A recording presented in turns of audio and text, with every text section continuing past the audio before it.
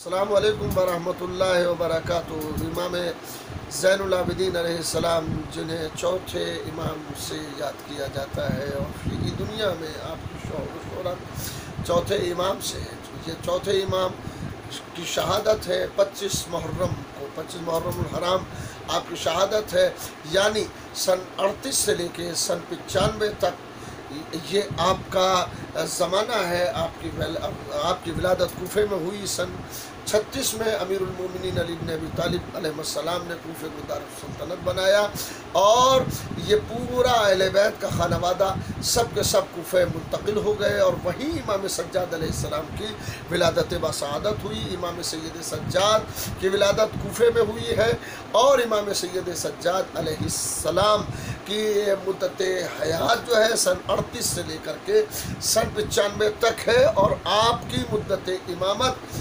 पैंतीस साल पर मुहित है। पैंतीस साल इमाम अपने मनसब इमामत में फ़ाइज रहे, यानी इमाम हुसैन आसमाम की शहादत के बाद से लेके अपनी शहादत तक इमाम सैद सज्जाद मनसब इमामत पर फ़ाइज रहे। इमाम सैद सज्जाद वो अजीम शख्सियत हैं कि जो वाक़ करबला में मौजूद हैं और मसलहत परवरदिगार की बिना पर इमाम की शहादत नहीं हुई।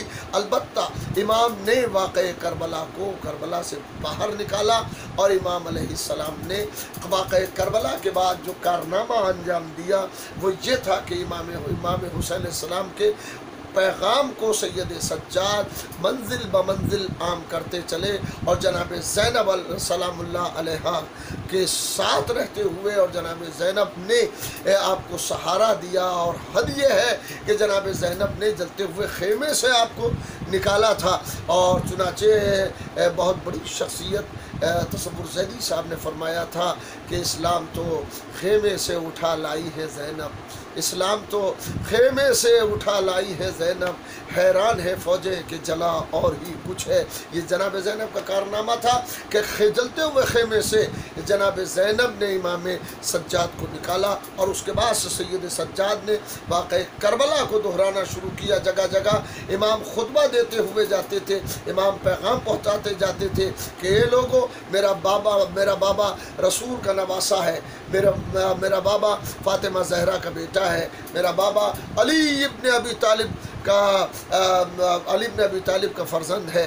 मैं हुसैन इब्न अली का फ़र्जंद हूँ। ये काफ़िले, ये बताते हुए सैद सज्जाद जा रहे थे। सैद सज्जाद की ज़िंदगी के बहुत से पहलू हैं, बहुत से हिस्से हैं। हम जब गौर करते हैं तो मसाइब के पहलू पर गौर करते हैं, वरना फ़ज़ाइल सैद सज्जाद सलाम पर अगर गौर किया जाए तो सैद सज्जाद सलाम के फ़ज़ाइल तारीख़ में भरे पड़े हैं और मुहित हैं। कभी आप सोच सकते हैं कि हजर असवद हजर असवद ने इमाम ज़ैनलाबिदीन सलाम की इमामत की गवाही दी। कि आप आप इमाम वक्त थे। सलाम किया हजर असमद ने, इमाम ज़ैनलाबिदीन सलाम को।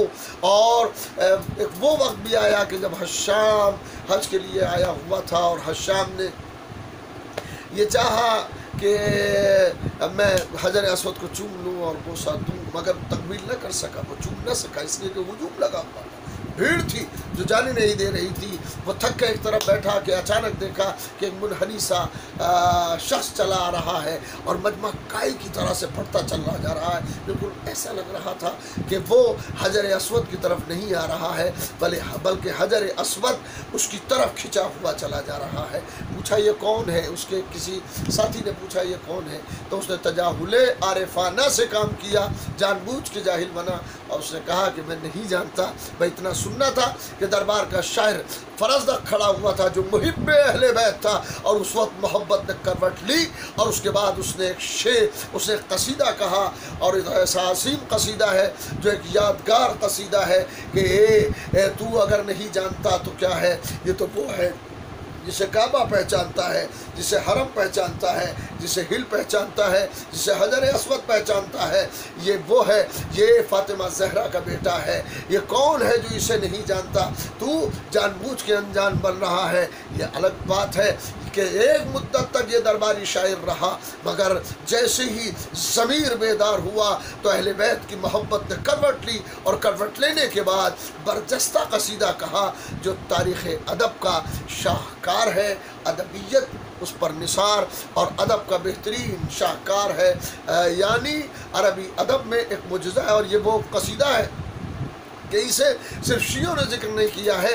अगर आप यूट्यूब पर जाएँगे तो आपको नज़र आएगा कि बरदरान अहल सुन्नत ने इस कसीदे के अशार को बार बार दोहराया है और बार बार जगह बार बार पढ़ा है या और दर्स में शामिल किया, दर्स में शामिल किया, कोर्स में शामिल किया।